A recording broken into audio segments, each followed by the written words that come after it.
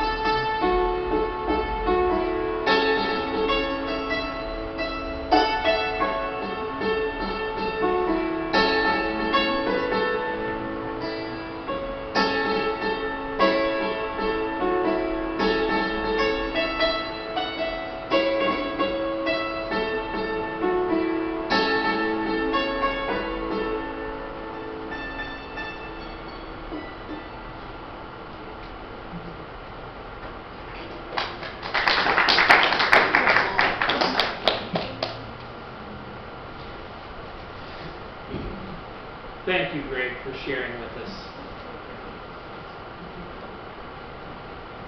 Let's prepare our hearts for prayer now with our hymn number 757.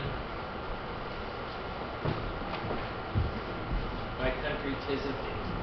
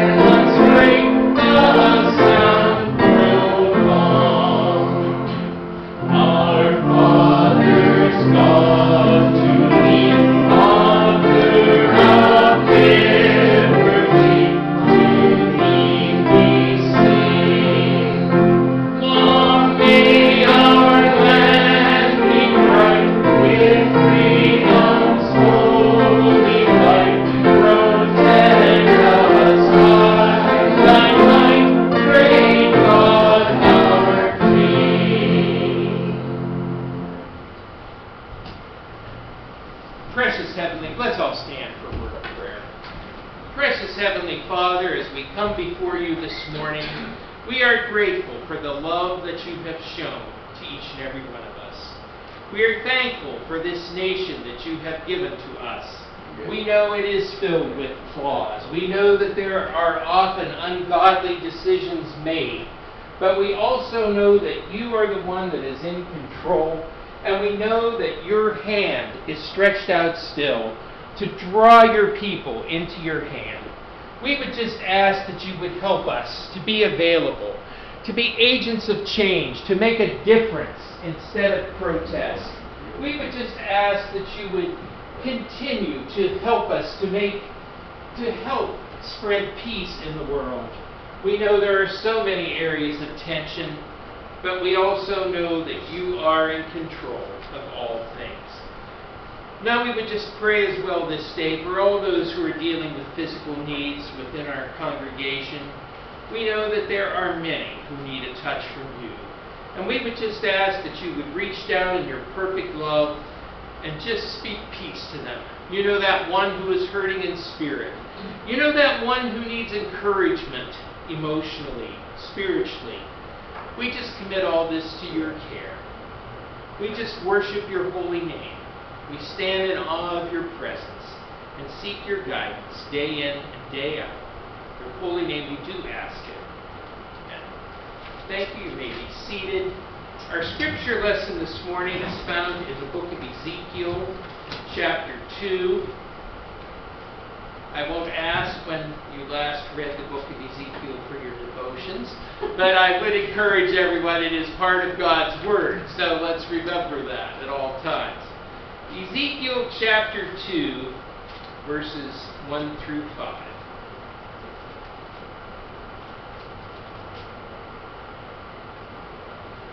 He said to me, O mortal, stand up on your feet, and I will speak with you. And when he spoke to me, a spirit entered into me and set me on my feet. And I heard him speaking to me. He said, Mortal, I am sending you to the people of Israel, to a nation of rebels who have rebelled against me. They and their ancestors have transgressed against me to this very day. Their descendants are impudent and stubborn. I am sending you to them, and you shall say to them, Thus says the Lord God, whether they hear or refuse to hear, for they are a rebellious house, they shall know that there has been a prophet among them. Precious Heavenly Father, we do thank you for your word this day. We pray that you'll help us as we spend these few minutes looking at it together, that we might draw closer to you and walk in the light of your Spirit. Your holy name we do ask it. You know, just because someone hears the words that are being spoken does not necessarily mean that communication has taken place. And that's an important thing to remember. I heard a presentation several years ago. It was on uh, public radio, actually. I was riding somewhere in the car and I heard this broadcast, and they were talking about how important it is for companies that hire uh, people writing advertising slogans and things like that to understand who they're speaking to. Because sometimes just a slight difference in how a word is interpreted can make a very big difference. I think most of us remember in the 60s and 70s uh, the Chevrolet Nova. It was a very popular vehicle. Many people drove them. They were, you know, a dependable vehicle. They were, you know, it was a, it was just an all-around car that was, you know, part of our grammar. I suspect there are more people when they heard the term Nova were more likely thinking of a Chevrolet than they were thinking of its counterpart in space, which is an exploding star. You know, so that was just part of the language at the time. But Chevrolet, doing market research and everything they wanted to do, thought they could market the car in a South American country. And they did the market research, and it showed that it was a car that people there, you know, would have want the features that it had. But they missed one very important thing. Well, when we think of Nova, we think of star, we think of the car. In South America, instead of Nova, they were thinking no va, which actually means, translated, it will not go. So who wanted to buy a car that was called the It Will Not Go? so that definitely hindered the marketing of the Chevy Nova for several years in South America until they happened to change the name to something else. I, I was thinking just the same. Um, I, I was watching, I occasionally get to see on MeTV Adam 12 that's still on. It was an old show from the 70s. And, you know, it was known as an all around good, clean show. Uh, kids were invited to watch it because it always showed cops in a good light. It showed them uh, winning, you know, always getting the victory over the bad guy. But I remember they flashed the title on the screen of the one episode.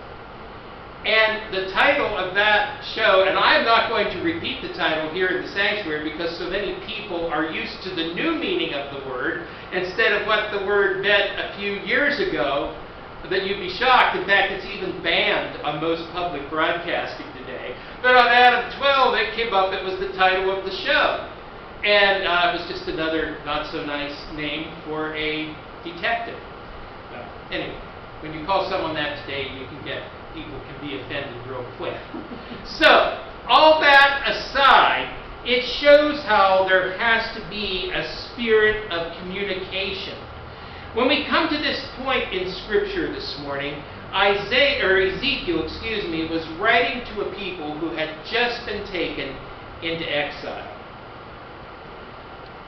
Interesting part as you read this, Ezekiel had been taken into exile with all the others.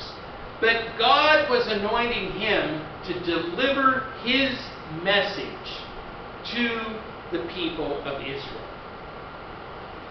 Very important because Ezekiel understood how to communicate to the people.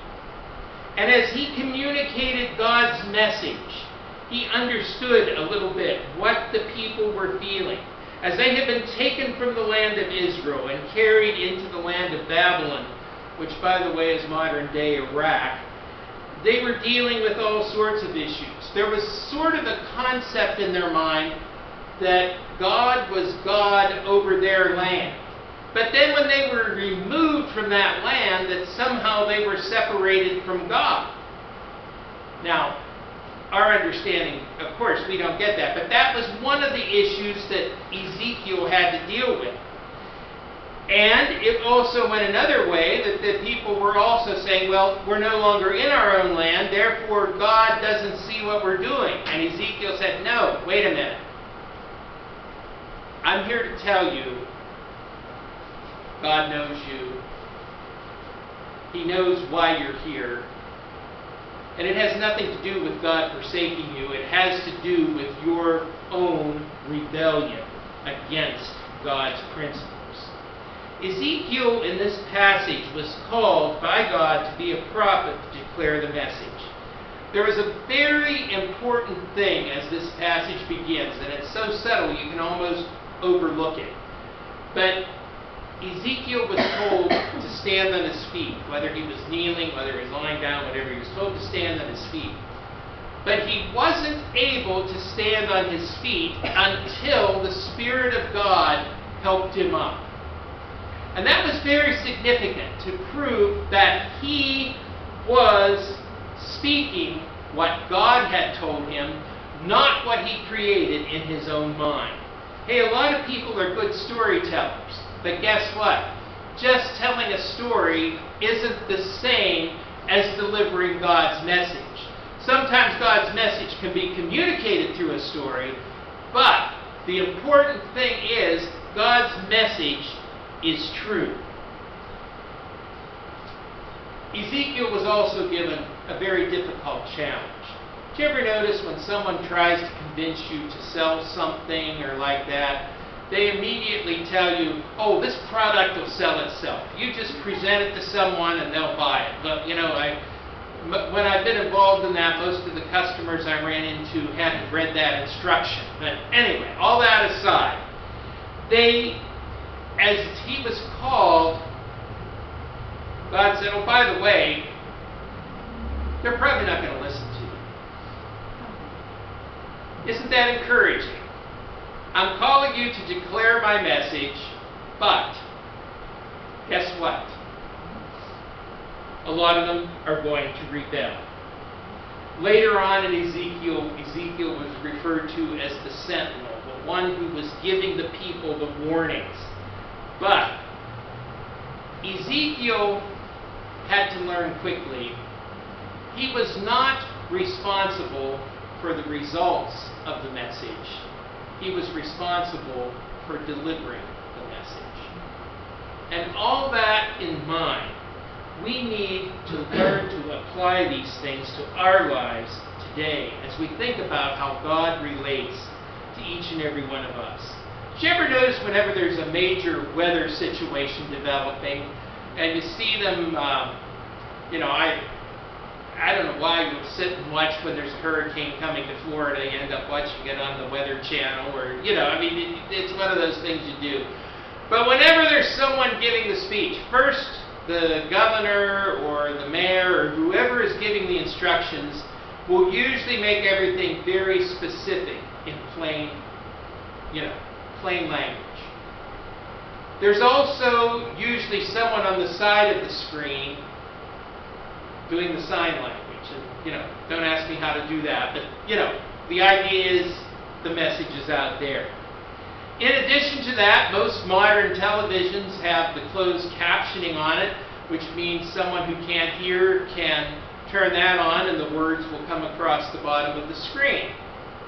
And even if that isn't enough, a lot of newscasts and other programs have what they call the SAP, which is the second audio program, which is usually someone speaking in Spanish or in some areas some other language. The bottom line is every effort is made to see that the message gets out of the danger that's approaching. And yet, every time there is one of those storms, there is someone who says, well, it's not going to bother me. I choose to ignore that and stay right where I am. There was a, uh, I remember a sheriff one time they showed him on the news, and he was going door to door to catch stragglers and, you know, encourage them to leave. And they said, no, we're not leaving our home. He carried a pad in his pocket. He said, well, then would you please write down your name and the name and address of your next of kin so we know who to contact when we find your body. that was a straight, direct approach. But, uh, you know, the bottom line is just because the message is announced doesn't necessarily mean that everyone is going to get it. There's really two important aspects of this message that I think we need to look at. We need to look at this scripture in light of being the receiver of the message and in light of being the deliverer of the message. As a receiver of the message of God's uh, call to believe, how do we respond? When Jesus calls us to repent of our sin, to have our sins forgiven, and be a part of His life, part of His kingdom, how do we respond? Let me say we can be sure that He will speak to us in a way that we can understand. That's why God speaks in so many different ways. There isn't one standard way that He communicates with everyone. But one thing I can say for certain when God speaks to us, there is no question that we have heard His voice. Most of us have learned, you know, to respond, but reality is there are many who choose not to. Sometimes I think even more than outright rejection, I think there's many of us just hope that um, we want to sort of move God into our time frame instead of us into His time frame. But guess what? That doesn't work so well either. It's still rebellion.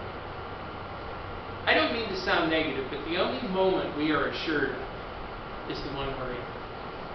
And if God is giving us a warning, we need to listen. And it may very well be that those of us who know Jesus as Savior may be called upon to be a deliverer of the message that we have received.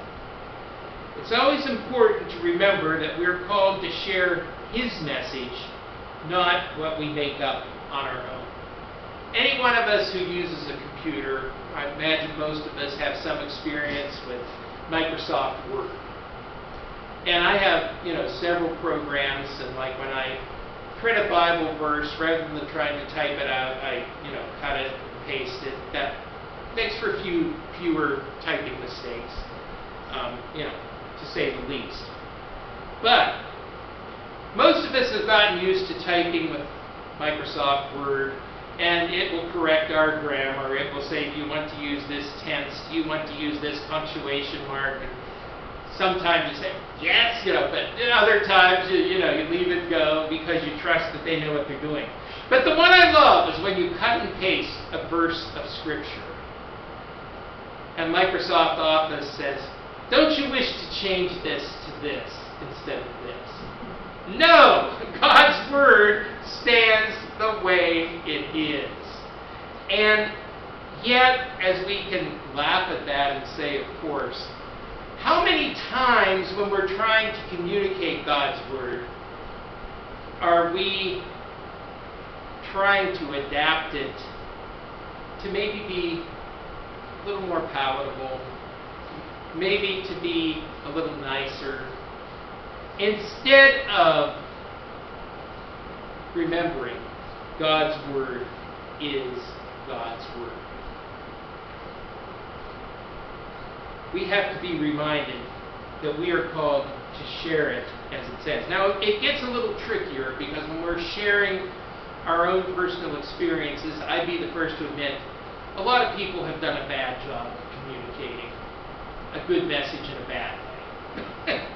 However, we're called to learn to share what He, and we have the responsibility of providing the warning to those that we come in contact with. It's very true that mankind is often plagued by simply not understanding what someone else is saying or meaning. Uh, perfect example, when I started to Eastern Nazarene College, I was already very much interested in drinking coffee. Okay, I drank tons of it. Actually, one time they said they always knew if I wasn't in the dorm for a day because they couldn't smell the coffee Anyway, okay, aside from that, all that aside, I had to learn a new term because coming from Western Pennsylvania, coffee, regular coffee, meant not decaffeinated coffee. Well, I found out in New England, regular coffee means with cream and sugar. Totally different point. But see, in ordering, you had to learn that simple little thing. If I said, well, of course I want regular coffee and put cream and sugar in it, they look at you like, huh? You know, but, no, that, that's what regular meant to them. Both speaking the same language, differences of interpretation. but that's why God uses each of us different ways to meet different people in their specific needs. Unfortunately, like the people that Isaiah was called to minister to, there are going to be many who ignore the message we share. That's okay. But that also means we should not pick and choose who we share the message with based on who we think is going to respond. Can you imagine? I know this wouldn't happen, but if a group of uh, political officials in a city knew the hurricane was coming and said, well, we'll go alert this neighborhood, but no one will pay attention to us in this neighborhood, so we won't waste our time broadcasting the message there. Guess what? That wouldn't work very well. We're called to share the message when He fills us and helps us to stand on our feet, to share the message that He's given to us.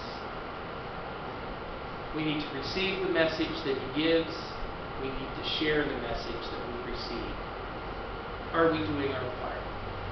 Are we doing it with understanding? Are we trying?